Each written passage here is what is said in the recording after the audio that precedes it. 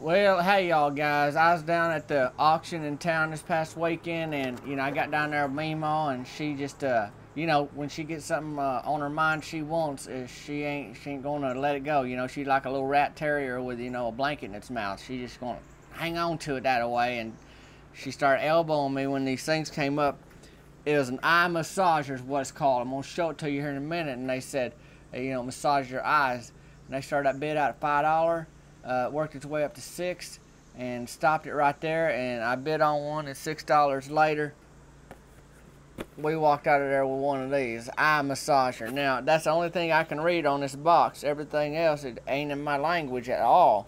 Anyway I'm thinking how they gonna massage my eyes with them glasses Memaw she said they said it's it's good for headaches and it relaxes you and that kind of thing and you know they sold her on it out of way.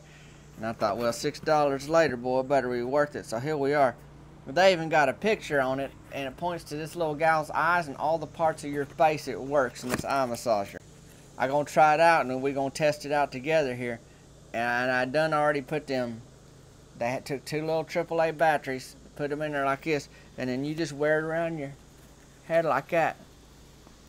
Now, first things first, pretty good sunglasses. And I can swivel back and forth and look this way and that way. Sun's out of my eyes. And think I look pretty cool. I can't really see myself right now, but I'm feeling pretty cool about it. And then over here, I just got to turn it on. I'm just going to hit that on button. Oh yeah, there it goes. And then it starts like like them chairs at the at the shopping mall or at them county fairs. It goes, it does that around your eyes. Now right now, it's starting to make my nose itch. Oh yeah, make my nose itch. And then it does a little thing, it does like bloop, bloop, bloop, bloop, or then it goes real fast for a while. Oh, and then you can just lay back with this thing on your eye. But I don't think you could roll over because then it start pushing it off like that way. It start pushing it if you roll like I don't I don't think they want you to sleep in it. Back here, it's got them little massager things that just shake on your eyeball, shake on your face all around here.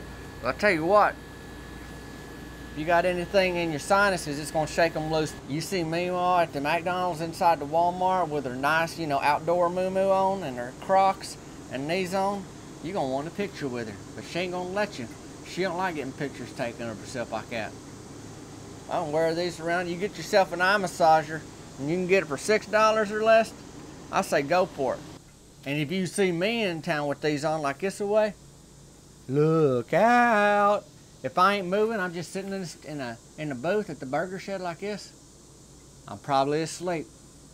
I'm probably asleep. We went down to that auction Saturday night, didn't know what we were going to leave with, but lo and behold, $6 later, we left with a whole lot more than we bargained for. A whole lot more.